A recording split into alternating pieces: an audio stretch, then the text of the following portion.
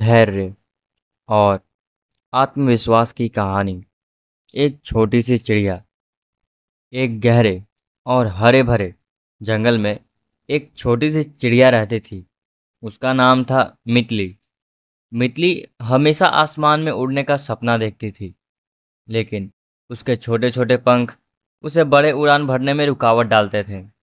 जंगल के सभी जानवर उसकी छोटी पंखों पर हँसते थे। और उसे उड़ने में असमर्थ मानते थे। एक दिन, जंगल में एक बड़ा तूफ़ान आया।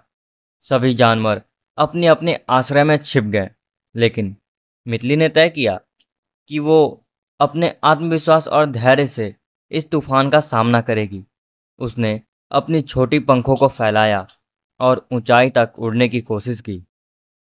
पहले कुछ बार तो वो धरती पर गिर पड़ी, लेकिन उसने हार मानने का नाम नहीं लिया। हर बार गिरने के बाद उसने खुद को और मेहनत की और एक बार फिर कोशिश की।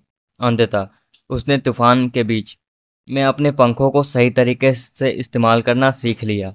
उसने धीरे धीरे ऊंचाई प्राप्त की और तूफ़ान की ताकत को मात देते हुए सुरक्षित जगह पर पहुँच गए।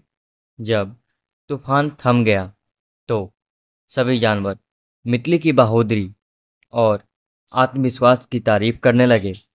मितली ने साबित कर दिया कि छोटी सी चिड़िया भी अपने धैर्य, आत्मविश्वास और मेहनत से बड़ी चुनौतियों का सामना कर सकती है।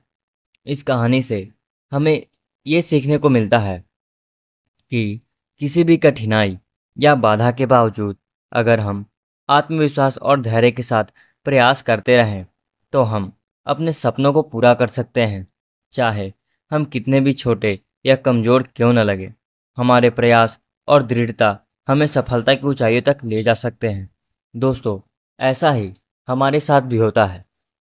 क्लासेस में कुछ टॉपर बच्चे होते हैं और कुछ जो फेलवर होते हैं। लेकिन ऐसा बात नहीं है कि वो स्कूलिंग या कॉलेज या ग्रेजुएशन करने के बाद भी वो टॉपर ही रहेंगे या फिर वो फेलवर ही रहेंगे। ज़िंदगी कब किसके साथ बदल जाती है, यह किसी को नहीं पता। इसलिए आप फेलुअर भी हैं तो कोई दिक्कत नहीं है।